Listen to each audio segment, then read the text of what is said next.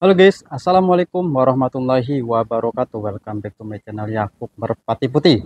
Pada kesempatan kali ini kita mau apa ya? Pada kesempatan kali ini Bang Yakub mau berbagi ya guys ya. Berbagi apa tuh? Tips rahasia ya Gimana caranya merawat mentimun ya Agar berbuah lebat ya. Pokoknya nih Bang Yakub mau berbagi Berbagi. Oh ribet amat sih romananya Mau berbagi tips ya. Tips, tips, tips, tips, tips rahasia nih sebenarnya sih nggak rahasia tapi emang ini rahasia.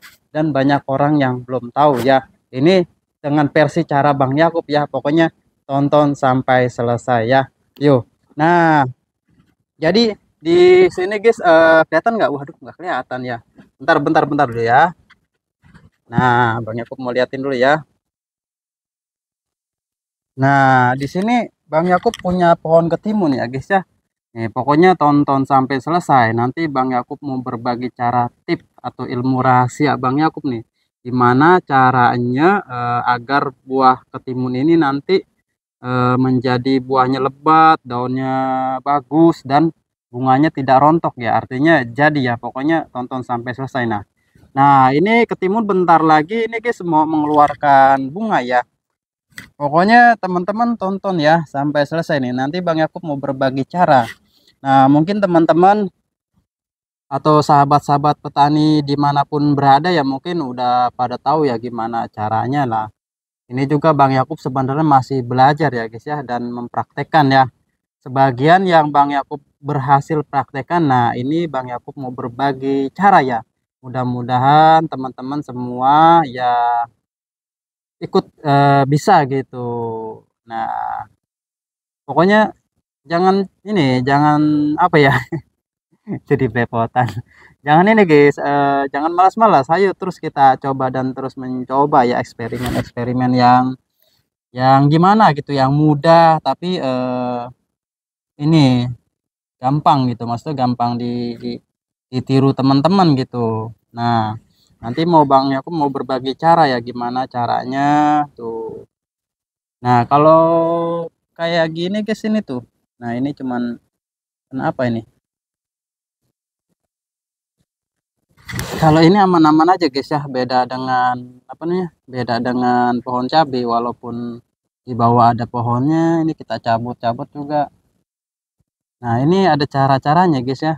Ini mungkin teman-teman di di online juga mungkin ada ya banyak ya kalau mau beli pupuk-pupuknya ini pupuk timun gimana cara perawatannya juga tuh. Ini bayam-bayam pokoknya sekarang Bang Yakub berbagi tip tip tip tip tip. Nah udah berhasil nah. Termasuk ini guys. Nah ini Bang Yakub sudah berbagi juga ya cara gimana cabai itu bunganya tidak rontok tuh. Termasuk ini kan Alhamdulillah tuh. Bunganya udah banyak lagi guys. Tuh. Jadi berputar terus guys. Jadi nggak ada habisnya cabai tuh Tuh, kemarin udah Bang Yakub petik beberapa kali, nah termasuk tomat-tomat ini. Nah, tuh mudah-mudahan ini jadi ya guys ya. Ini namanya tomat ya guys ya. Kita lihat ini tomat apa rampai ya. Soalnya agak mirip-mirip sedikit ya guys ya. Tapi kayaknya itu tomat. Nah, ini rampai nih guys. Nah, ini guys. Tuh,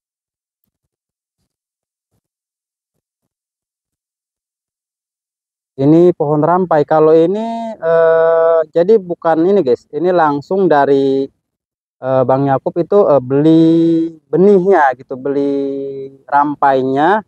Nah sebagian rampai itu tidak dimasak. Nah yang agak jelek itu agak matang gitu. Jadi dipecahkan di sini langsung disebar di sini guys ya. Alhamdulillah ini tumbuh dah dan sebagian udah ada yang dipindah-pindahin ya guys ya no.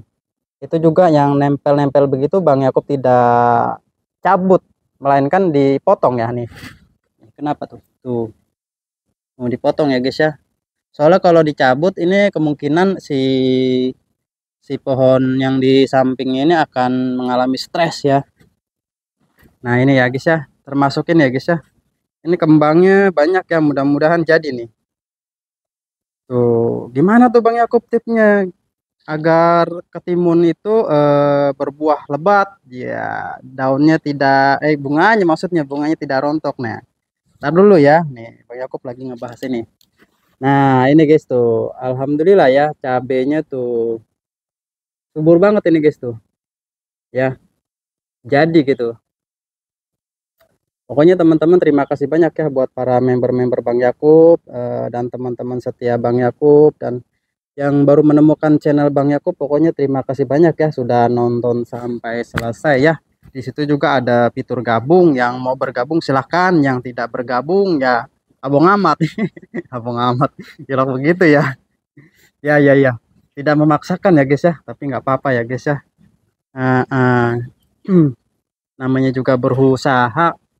Nah terima kasih banyak yang sudah berbagi ya yang sudah memberikan super tank atau super chat buat sahabat-sahabat Bang Yakub ya lemah teles Gusti Allah yang balas Bang Yakub tidak ya tidak bisa membalas apa-apa ya semua itu atas kehendak Gusti Allah Subhanahu wa taala ya guys ya Nah, ini guys, Bang Yakub kembali lagi ke pembahasan ya. Pembahasan tentang ketimun. Ini ketimun lalap ya guys ya. Ini ketimun lalap ya guys ya. Yang Bang Yakub mau berikan pupuk ya, mau berbagi tip gimana caranya. Ini langsung sekarang Bang Yakub praktekkan ya, e, bukan sekedar teori, tapi langsung Bang Yakub praktekkan di pohon ketimun Bang Yakub sendiri ya. Pokoknya ikutin dan tonton sampai selesai agar tidak gagal paham ya guys ya. Seperti itu. Nah ini juga Bang Yakub khawatir ya guys ya khawatir ini. Di sini kan ada pohon apa tuh? Pohon mangga ya guys ya mangga yang sudah lapuk ya guys ya nih eh, Bang Yakub sepil dari jauh. Nah di sini ada pohon mangga yang sudah kering tuh. Yang sudah kering ini khawatir Bang Yakub rubuh ya mengenai pohonan ya. Di sini bawahnya udah agak growong gitu ya guys ya. Tuh. Ini kayaknya harus ambil tindakan ya apa gimana ya tuh. Ini udah jauh sekali ya guys ya. Tuh tuh ini sudah lapuk ya guys ya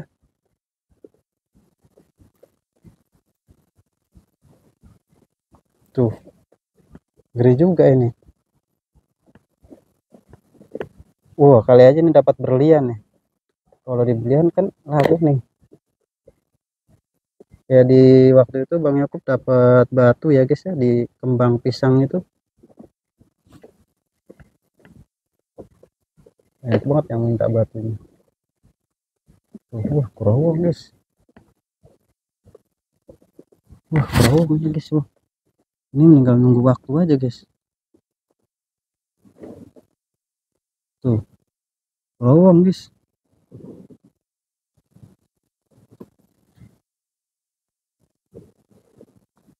Masya Allah ini waduh ini harus segera mungkin nih Wah jadi ke sini-sini nih larinya nih Oke guys uh, Bang Yakub lanjutin ya tentang pembahasan dengan cara dan trik trik trik trik trik tips ilmu rahasianya. Nah gini guys. Langsung dah uh, Bang Yakub jelaskan ya untuk teman-teman Bang Yakub ya. Langsung Bang Yakub praktekkan ya. Di mana nih praktekinnya nah langsung di sini ya Bang Yakub praktekkan ya guys ya. Nah apa tuh ininya Bang Yakub uh, tip rahasianya nih? Mungkin teman-teman sudah banyak yang tahu ya yang namanya apa tuh buat masak itu namanya mecin atau sasa nih guys nih? Nih barangkali dapat endos nih dari sasa nih. Nah ini mecin ya guys ya. Nah sedangkan ini TSP ya guys ya. Nah ini merek apa ya? Pokoknya TSP yang seperti ini nih. Langsung Bang Yakub praktekkan nah jadi ini kan eh, ketimun ini belum mengeluarkan bunga ya guys ya. Belum kelihatan mengeluarkan bunga ya. Jadi teman-teman eh, sebisa mungkin itu sebelum dia mengeluarkan bunga atau pentil. Nah teman-teman langsung ditabur ya. Ini Bang Yakub eh, karena nggak ada yang megang kamera. Jadi langsung ditabur di bawah ketimun ini ya guys ya nih. Mecin ya guys ya. Sasa nih. Langsung Bang Yaku praktekan bentar dulu ya. Nah kalau mecin nggak apa-apa agak deketan guys. Nah. Langsung ini yang Bang Yaku praktekkan ini eh, maupun cabai ataupun eh, ketimun ini bunganya tidak rontok ya guys ya tuh. Nah.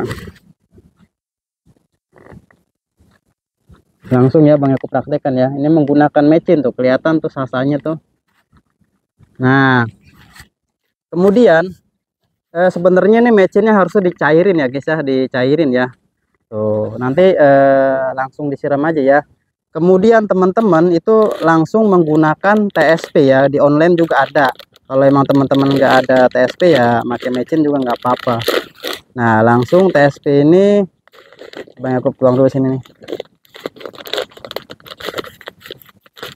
Biar nggak ribet nih. Hop jangan banyak. Nah TSP ini langsung ya guys ditaburin aja guys ya. Nih ditaburin sebenarnya eh, ini digali aja ya guys ya. Kalau teman-teman kalau Bang Yakob ini ditabur gini aja nih. Digali juga bisa ditabur juga bisa nih. Tuh, jangan terlalu dekat sama akar ya guys ya. Nih TSP ya.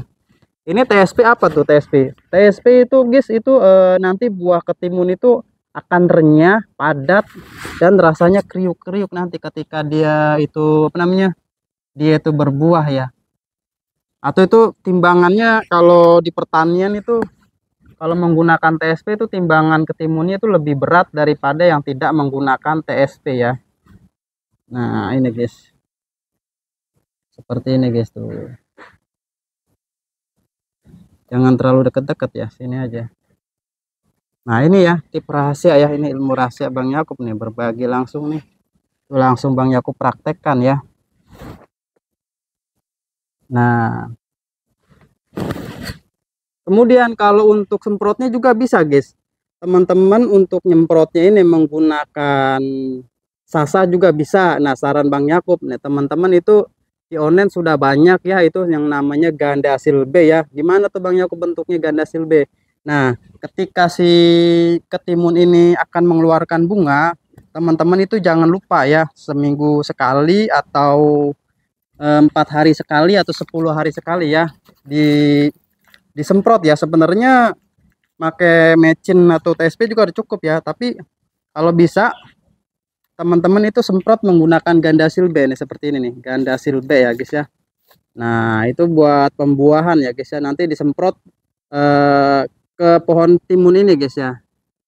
Nah ini ketimunnya nah ini yang ini yang ini tanaman susulan ya guys ya nih ini ketimun juga guys ya ini susulan tanaman susulan itu tanaman susulan juga Nah, ini juga tanaman susulan juga tuh. Timun, guys. Nah, ini dua baris ini Bang Yakub eh, nanam kacang panjang ya, guys ya. Nah, ini kacang panjang nih nanti eh, akan Bang Yakub berbagi rahasia tip-tipnya lagi ya buat teman-teman Bang Yakub, sahabat-sahabat Bang Yakub. Nah, pokoknya seperti itu, guys. Tip rahasianya, guys ya. Nah, pokoknya seperti itu guys ya, udah berbagi cara tip-tipnya. Bang Yakub itu menggunakan mecin TSP. Nah, itu untuk eh, ini kan udah kelihatan tuh masa-masa pembungaan nih. Sepertinya ini udah mau mau keluar masa pembungaan. Jadi sendiri mungkin teman-teman itu kasih yang namanya MSG atau yang sebut mecin sasa ajinomoto atau sejenisnya ya seperti itulah. Nah, jangan lupa kalau begini disiram ya guys ya sebenarnya itu kalau buat teman-teman ya uh, jangan ikutin Bang Yakub juga maksudnya kalau Bang Yakub karena itu nggak ada yang megangin kameranya jadi Bang Yakub tebar ya saran Bang Yakub nanti untuk TSP-nya itu dilarutkan dulu di air kemudian disiram di bawah pohon ketimun atau yang bahasa kerennya itu dikocor ya guys ya. Nah dikocor itu namanya dikocor. Nah seperti ini. Cabe alhamdulillah ya. Nanti nah ini juga nanti uh, akan menyusul ya. Jangan kalau kayak gini paling eh, teman-teman cukup kasih sedikit ore ya guys ya. Pokoknya oke okay lah. Terima kasih banyak ya guys ya. Sudah nonton sampai selesai. Pokoknya yang lagi sakit Bang Yakub doakan mudah-mudahan diangkat penyakitnya oleh Allah Subhanahu wa taala yang belum nikah cepat-cepat menikah guys ya. Yang sudah menikah mudah-mudahan diberikan momongan dan dijadikan anaknya anak yang soleh dan soleha. Bang Yakub akhiri. Assalamualaikum warahmatullahi wabarakatuh. Salam buat keluarga. Dadah terima kasih banyak. Ada nah ini Bang Yakub temenin nah udah gede. Baru sembuh sakit guys ini guys. Nah